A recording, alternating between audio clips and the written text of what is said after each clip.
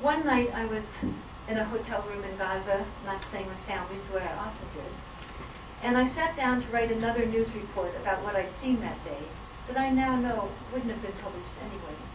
But instead of writing a news report, I found myself writing a letter to Americans back home. I'll read it to you now. Come to Palestine and see how your tax dollars are spent. Visit a hospital with me and see a boy with a bullet hole in his back. See children with scared eyes and legs that don't work anymore. A terrified old man whose neck is swathed in bandages from the bullet that passed through it as he sat in his home drinking his tea. Come with me and visit mothers of dead, injured, gone children, thousands of them, and tell them how you didn't know. We supplied the weapons that ripped flesh, broke bones, destroyed lives, destroyed lives.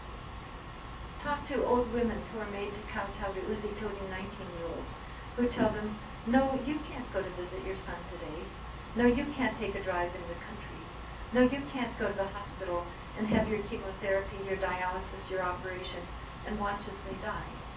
Come to the borders with me, invisible lines in the sand between towns that Israel has drawn with its tanks and helicopters and 200 nuclear weapons, and watch the women with difficult births deliver dead babies and then die themselves at military checkpoints, death points, when soldiers with their ultimate power decide not to let them pass. Listen to these young warriors with their lethal weapons and deadly tempers proclaim, We've decided to close this road, and if you don't like it, we'll shoot you, as we already have 10,000 of your countrymen.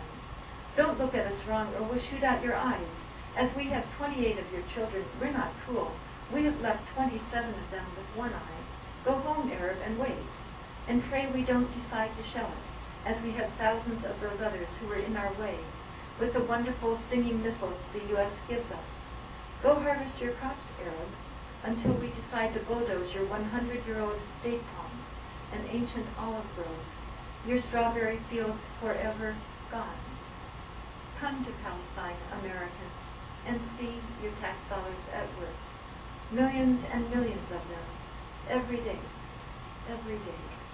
And weep with me for our victims and our guilt, and then say, no more.